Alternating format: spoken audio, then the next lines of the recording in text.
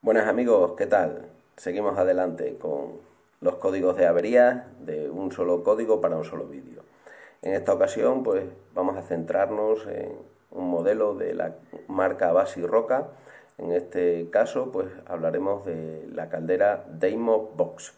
¿Y de qué código de avería vamos a hablar? Bueno, pues vamos a hablar del E10.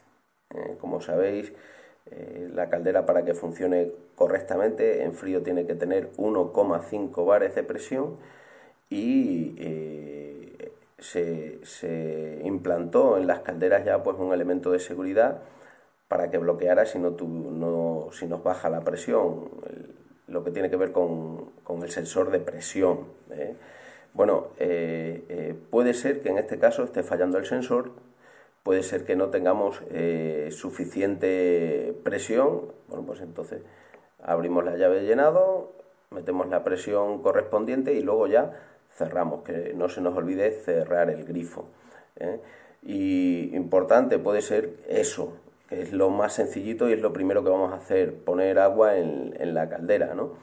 Pero pudiera ser que el mismo sensor estuviera mal, ¿eh? como sabéis los códigos siempre decimos que son orientativos, o la misma placa electrónica. Ya me encontré en varias ocasiones que nos da un error de presión y puede ser que esté fallando la misma placa electrónica, ¿vale? Pero que tengamos en cuenta que este código, el E10, está relacionado con, con la presión del circuito, ¿vale? Chao.